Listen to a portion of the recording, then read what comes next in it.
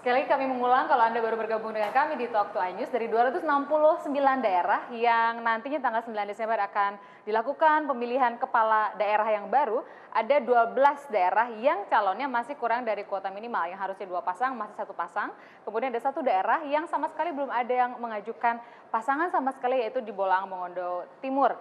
Nah, Tadi kita sudah diskusi dengan Mas Hanta, dengan Mas Arief, tapi terutama sekarang berpikir soal calon tunggal versus calon boneka. Maksudnya boneka adalah calonnya diada-adain karena mesti ada sehingga calon itu entah di apa entah dibujukin, dibujukinnya mau persuasifnya omongan, mau pakai bayaran, apa pun bentuknya. Pokoknya judulnya boneka. Kita ke pilihan yang terakhir, Pak Sony sebagai dirjen. Kalau ternyata nggak ada petarung yang mau melawan si calon yang masih satu ini, eh, pilihan apa yang sudah dipikirkan oleh pemerintah? Baik, Mbak Tina. Jadi prinsipnya kita itu harus memiliki opsi-opsi itu sudah kita pikirkan pemerintah. Tapi jangan lupa dari strategi tiga tiga tiga yang tadi oleh KPU yang tiga tiga, sekarang baru masuk tiga kedua, besok baru masuk tiga yang ketiga, mm-hmm. yaitu pendaftaran. Kita dari pengamatan pemantauan Kementerian Dalam Negeri khususnya, D2D juga memantau, harapan kita angka itu terus turun. Dan ternyata calon tunggal itu mungkin tidak akan makin banyak, justru akan sebaliknya ya, akan makin menurun karena di beberapa daerah yang diperkirakan calon tunggal itu sebenarnya punya calon, punya calon cuma bagian dari strategi partai kemudian untuk ah nanti dulu satu, yang kedua ada sedikit yang kurang-kurang dari persyaratan, kurang stempel dan seterusnya, ada yang telat daftar dan seterusnya. Kita masih optimis tiga hari ke depan itu jumlahnya akan berkurang. Namun demikian, andai kata memang terpaksanya terjadi kurang dan ada calon tunggal, kita punya opsi-opsi. Opsi pertama adalah opsi status quo, itu sebagaimana normatif yang ditetapkan dalam PKPU nomor 12 tahun 2015, ya kita mundur kan. Kalau kurang dari dua calon, diundur 2017, saya ikut. Saya kira itu status quo posisinya ya. Yang kedua kita harus juga punya pilihan. Ini yang sebenarnya kita tidak sekitar wacana, kita belum belum tapi sebagai opsi bolehlah wacana tadi Mas Hanta Yuda menyampaikan perpu-perpu tadi kita juga sedang siapkan untuk kemungkinan-kemungkinan itu memberikan legitimasi terhadap calon tunggal.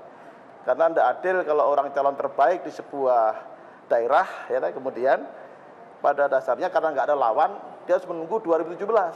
Pertanyaannya siapa yang bisa menjamin 2017 misalnya seperti Risma akan ada calon lawan lagi kalau tidak lagi bagaimana? Yang kedua, PLT selama dua setengah tahun. Hmm. Itu efek terhadap pelayanan publik sangat besar. Saya kira antisipasi interpretasi tetap dilakukan. Uh, apa pun yang akan terjadi, kita akan potret dulu permasalahan ini dengan optimis lah, saya kira. Gitu. Ada dua orang yang bertambah, Mas Ferry dari Perindo, Wakil Sekjen, uh, bidang politik, dan Mas Arya Bima. Kenapa kami undang uh, PDI Perjuangan? Karena dari 12 daerah yang calon tunggal, tujuh di antaranya adalah uh, yang calonnya sama satu orang masih satu pasang yaitu yang diusung oleh PDI Perjuangan. Mas Arya Bima, ini diartikan PDIP merasa di satu sisi oke okay lah ini nggak bisa bertarung, tapi di sisi lain ini kan menunjukkan bahwa oh ternyata yang lain nggak berani ngelawan calonnya PDI Perjuangan. Apa yang dimaknai sama teman-teman PDI Perjuangan? Ya karena calonnya terlalu kuat. Kuatnya kenapa ya? Karena keberhasilan hmm. seorang kepala daerah ya hmm. selama lima tahun yang sebelumnya terlihat bahwa kinerja mewujudkan kehendak rakyat yang seperti diamanatkan di dalam pilkada sebelumnya itu mewujud. Dan ini satu pihak membanggakan tapi di satu pihak kita juga ingin melihat sejauh mana tujuan kita apa sih kan itu tujuan kita kan ingin e, memilih kepala daerah mm. ingin menunjuk kepala daerah. Tujuan kita kan bukan pemilihan. Pemilihan ini kan hanya prosedur, cara kita untuk bagaimana supaya kita mendapatkan kepala daerah. Jangan sampai prosedur atau cara ini justru substansinya itu tidak tidak ter, tidak tidak mewujud hanya gara-gara cara. Jadi demokrasi itu kan sebenarnya kita ingin melibatkan rakyat di dalam proses mencapai kesejahteraan lewat proses pemilihan. Jadi proses pemilihan, tujuan kita kan punya kepala daerah lewat proses pemilihan. Kenapa proses pemilihan ini akhirnya bisa menghambat dari substansi untuk tercapainya mewujudkan kepala daerah di dalam proses pilkada. Jadi menurut saya tadi opsi-opsi sudah benar. Diberi waktu dulu kita percaya, kita positive thinking dulu bahwa hmm. ini eh, masih di dalam eh, kerangka melihat eh, peluang dan ancaman untuk menempatkan kandidat di dalam proses eh, pilkada yang eh, waktu perpanjangan nanti tanggal 1 sampai tanggal 3. Iya. Persis sama misalnya di Pacitan. Demokrat Iya. mendapatkan eh, calon yang kuat sehingga sewaktu PDI Perjuangan bersama kalau tidak salah P3 kita ikut mencalonkan walaupun kita tahu calon dari Demokrat di Pacitan ini kuat. Kita melihat bahwa tujuan kita tidak hanya mendapatkan kekuasaan tapi bagaimana proses schooling politik pendidikan demokrasi ini harus kita laksanakan, ya kita harus mencalonkan. Tapi tiba-tiba ditinggal sama salah satu partai politik sehingga jumlahnya kita nggak mencukupi kan Iya, itu. iya, iya, Tapi iya, dalam proses perpanjangan ini kita masih mencari teman supaya PDI Perjuangan walaupun katanya survei itu kalah di Pacitan, tapi demi proses demokrasi, demi proses membangun kesadaran kita berdemokrasi dan pendidikan politik rakyat kita tetap berusaha untuk maju dalam waktu perpanjangan nanti. Nah, Begitu juga kita harapkan iya. di daerah-daerah yang kita Sendirian. sendirian gitu kan gitu. Eh, Mas Arya Bima, kan kemudian judul kita ini calon tunggal versus calon boneka. Katakanlah kemudian ada calon yang beneran maju sungguh-sungguh. Tapi kalau enggak di menit-menit terakhir apa yang akan teman-teman PD Perjuangan lakukan? Kan yang kita khawatir atau yang orang lain malah tunggu adalah asik nih saya nunggu nih saya nunggu jadiin boneka saya dikasih apa sama orang yang mau jadiin saya boneka Kemarin debatable ya, eh, mahar tuh ya. Mm, Masuk akal nggak nih eh, para pengamat seperti Pak Anta Yuda, misalnya akhirnya kita harus memenuhi prasyarat demokrasi supaya ada calon yang memang namanya pemilihan kan harus ada yang dipilih. Kalau satu kan nggak ada dipilih. kan gitu kan.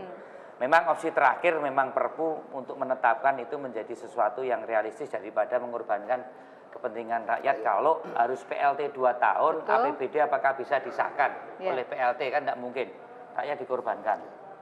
Nah kemudian kalau itu eh, ada calon boneka, sejauh mana boneka itu juga memenuhi prasyarat-prasyarat dalam kita berdemokrasi. Ini yang yang harus kita bicarakan sebagai suatu proses konsolidasi politik antara calon boneka dengan mengusahakan calon tunggal untuk tidak terjadi pemilihan sama-sama rekayasa, paham kan? Nah mana yang menjadi kalau misalnya ini ya sudahlah, you mencalonkan, maharnya nanti kepala dinas itu memenuhi prasyarat etika kita berdemokrasi enggak gitu loh. Nah, ini kan ini kan sesuatu yang harus dibicarakan daripada ter- terjadi kebuntuan misalnya. Nah, ini ini tentu antara Tapi secara pragmatis itu dipikirkan sama PDIP ya misalnya calon boneka tapi janjinya adalah jadi kepala dinas gitu ya. Nah, yang, yang yang semacam ini juga juga mungkin terjadi di Iya. bawah ya namanya juga eh, eh, kita berpolitik ya tapi kita ingin tetap me- melihat hal yang paling lebih substansif yaitu bagaimana proses ini jangan sampai menghilangkan bagaimana eh, akan terwujud eh, kepala daerah yang mempunyai tingkat legitimasi, elektabilitas dan tingkat keseriusan dalam pengabdian pada masyarakat. Kira itu. Ini, ini ini yang Iya. saya kira menjadi bahan pembicaraan. Kalau itu tidak memenuhi syarat ya saya kira bumbung kosong itu menjadi sesuatu yang masuk akal dan realistis untuk kita lakukan. Mas Ferry. Ya, kita teman-teman dari beberapa teman-teman kita sedang mengkaji bagaimana ada beberapa teman-teman yang maju di pilkada. Kita lagi lihat celah hukum untuk kita lakukan uji materi, mungkin langkah-langkahnya terhadap uh, Undang-undang ya? undang-undangnya. Bahwa uh, kalau memang dia memang calon terbaik itu ya memang harus Tapi kan prosesnya lama Mas uji materi. Ya tentu ini kita sedang bedah, tentu Mhm. bagaimana proses, tapi arahnya ke sana. Mungkin kita akan mencoba mengajukan uji materi terhadap pasal itu. Toh juga kalau saya dari partai saya memang beberapa teman-teman diusung oleh partai lain, tapi kan kita melihat ke depannya memang eh, permasalahan dari eh, pencalonan harus dua orang ini menjadi suatu masalah besar buat kita tentunya. Dan saya menganggap kalau cuma calon boneka itu cuma sebagai penyelundupan hukum. Ada penyelundupan hukum aja di situ. Jadi- Penyelundupan meskipun sebetulnya eh, kata Mas Hanta tadi kan sebetulnya eh, legal-legal aja.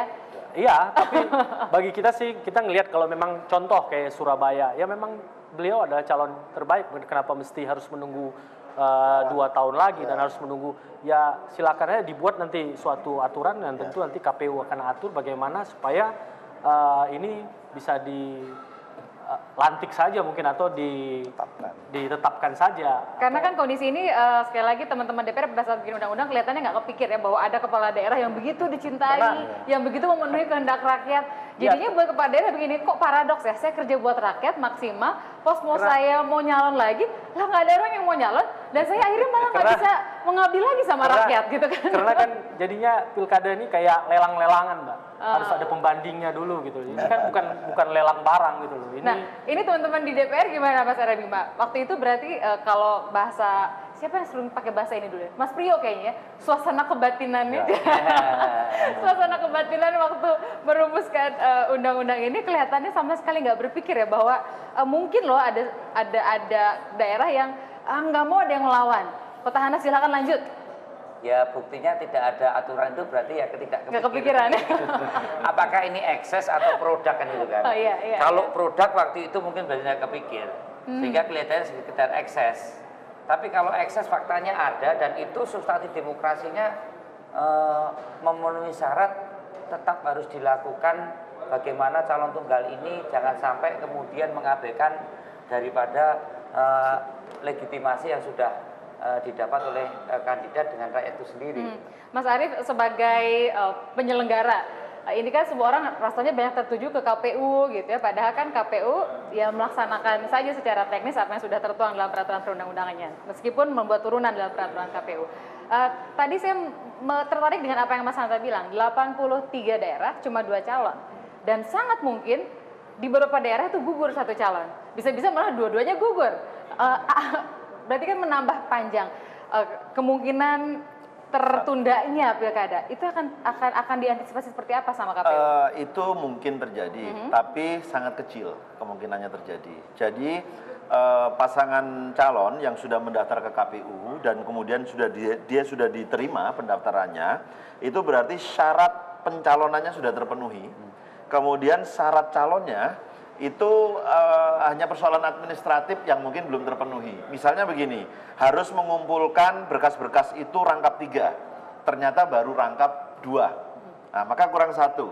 Nah, hasil verifikasi kemudian kita tuangkan dalam berita acara, mereka diminta melengkapi. Ijazah misalnya belum dilegalisir, maka kita minta untuk dilengkapi dilegalisir. Jadi kami mengingatkan kepada pasangan calon yang sudah eh, mendaftar ini, kalau memang ada berkas-berkas yang harus diperbaiki, dilengkapi, harus serius memperbaiki, melengkapi, supaya nanti kesimpulannya dinyatakan memenuhi syarat. Tapi nanti kalau ada yang nakal-nakal lagi misalnya, motif-motif tertentu gitu ya, wah kita kan kurang nih, ini nggak usah dilengkapi deh sehingga tidak memenuhi syarat. Nah kita nggak tahu karena itu kan bukan ranah kita gitu loh. Tapi Iya, KPU iya, iya, sangat iya, berharap iya, ya iya. kalau memang hasil verifikasi ini kemudian menunjukkan ada berkas-berkas yang kurang harus dilengkapi. Ini sebetulnya hanya persoalan administratif saja. Kalau Nah, urusan itu ada mohon strategi dipenuhi politik gitu di loh. baliknya itu bukan urusan KPU. Bukan urusan KPU. Kita akan itu- lanjutkan setelah Ajis terkini sesaat lagi kita akan bersama dalam Talk Ajis. Keterusan KPU soal itu ya Mas.